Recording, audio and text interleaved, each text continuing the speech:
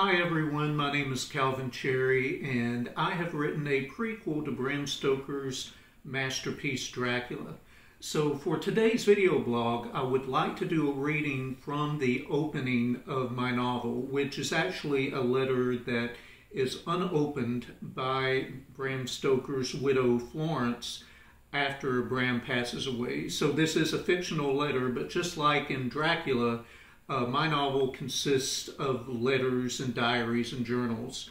So I'm going to read a short passage. The letter itself takes about 30 minutes to read, but due to uh, time, I'm just going to read a, a portion of it and then talk about it afterwards.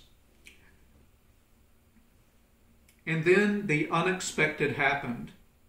My dear Florrie, 'tis true that there are some abnormalities in human nature that are so strange that one must pass through them to fully comprehend.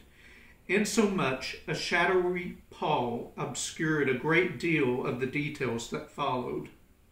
I will my mind and gall to record everything that I can recollect of that heinous night. Indeed, her very personality seemed to become absorbed by another of a malignant nature, for her mannerisms and tonal quality of her voice transitioned as words flowed in a pitch of untellable pathos. At once the witch's speech broke off in mid syllable, and her eyes became a dull yellowish tint, as one would witness in a corpse that was longing for the ground. She gasped but only once. And with a gaping mouth and an everlasting stare of unbounded horror, she fell back in her chair lifeless. As she did so, I stood spellbound on that wondrous ruby. So, too, those with me, as it darkened harshly around her skinny neck. At last, her final words echoed in my ears for several minutes Bagala Lacha Bachao. The remaining six did not know what to think of this. Notwithstanding, we did not comprehend the sequence of events, that is, as those of reality, until the violent hands of time proved we were not to be awakened. Henceforth, a strange fear gripped us like a boa constrictor by the throat.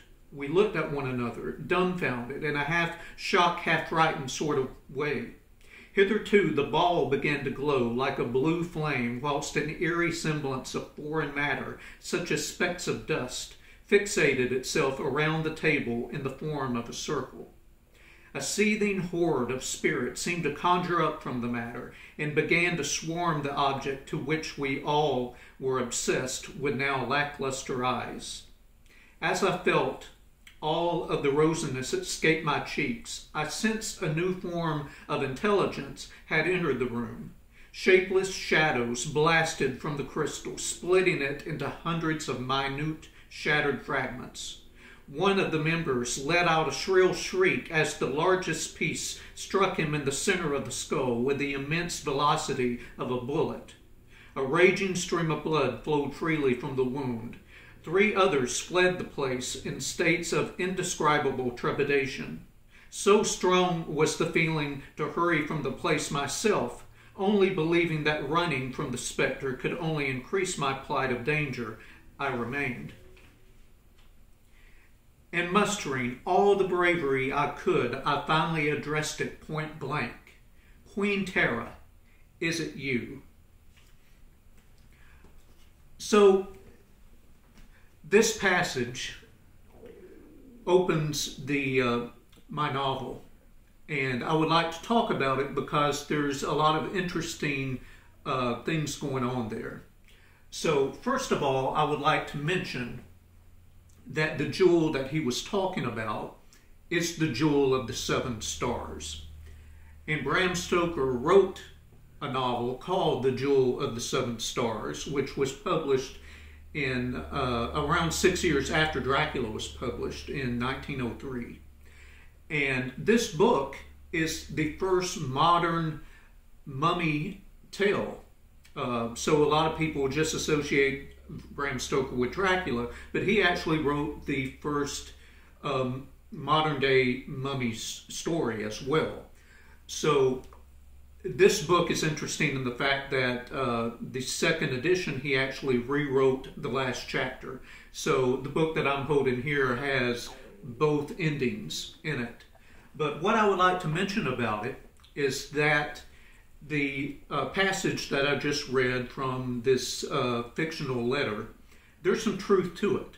So not only is he referring to the jewel of the seven stars, but Queen Tera was is actually the uh, mummy that Bram Stoker wrote about in the Jewel of the Seven Stars, and it's actually based on some history. So uh, Bram Stoker had many, many friends, and a lot of them were were doctors and authors.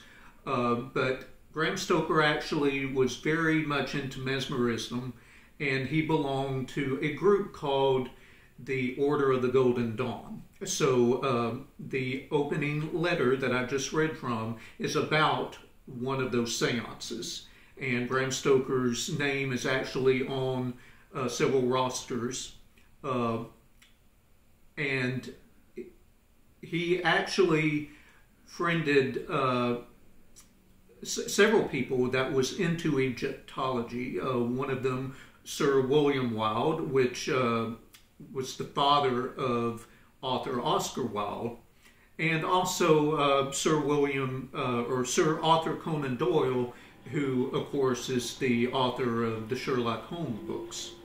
So both of them were very much into Egyptology, and so Bram became very fascinated uh, with Egyptology himself, learning about their excursions to uh, Africa, and uh, and some of his uh, friends would actually bring back uh, mummies, and uh, and one of those mummies resided in his friend's study and he became very fascinated with it. And uh, the the mummy was expected to be a, uh, a an Egyptian goddess, and uh, became nicknamed as Queen Tera. So uh, that's what uh, the basis of the Jewel of the Seven Stars is about. And also, I used that in the opening of uh, my own novel, so I just wanted to uh, share some of that. Um, and if you're wondering about the language of the letter,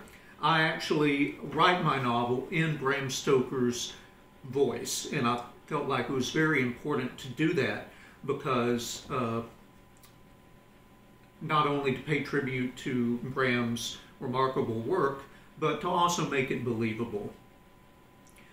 So uh, I just want to thank you for your time again. Uh, next week, I will be discussing the research that went into my novel, and in particular, the um, certain uh, books that I actually used that Bram Stoker also used as reference. So, uh, if you like what you heard, or if you know any friends that you think might uh, be interested in my book, again, it's available at all online uh, retail book sellers and if you go into a brick and mortar store and it's not there, they can certainly order it for you. And if you happen to be interested in a signed copy, please private message me and I will be glad to connect with you and, and make that happen. So, again, thank you so much for your time. Uh, very much appreciated and uh, good day.